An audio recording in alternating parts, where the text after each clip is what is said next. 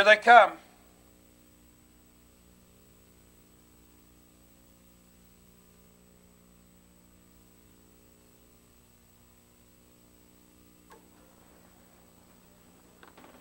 They're off and pacing. Startler out for the lead. 40 something left from the outside. There goes Al Kaline now moving fastest of all to take the lead.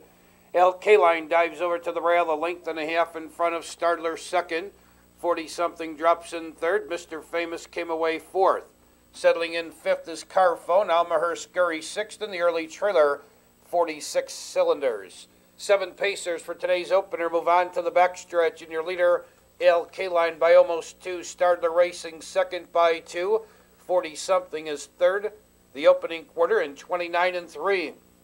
On the mid backstretch, Al Kaline a length and a half. Startler right there in second. Now Freddie Finn takes Startler out of second. They're going to challenge for the lead.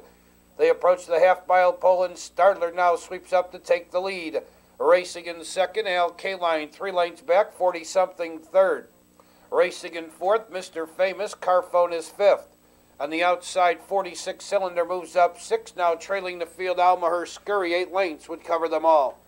They're inside the final half mile, and Startler leads by a length and a half. Al Kaline second a length.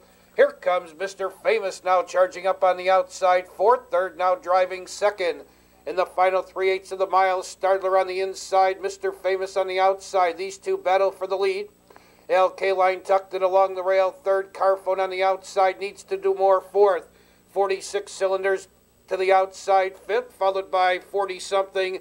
Almaher scurries a distant trailer. Final 3 16ths of the mile. And Mr. Famous now has taken a three length lead. Here comes 46 cylinders now charging up on the outside second.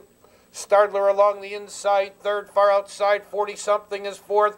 Final eighth of a mile for Mr. Famous. He leads by three. Startler trying to fight back. Here comes 40 something in Al Kaline. Your leader is Mr. Famous. Al Kaline may have come back for second. Tight for third, 40 something.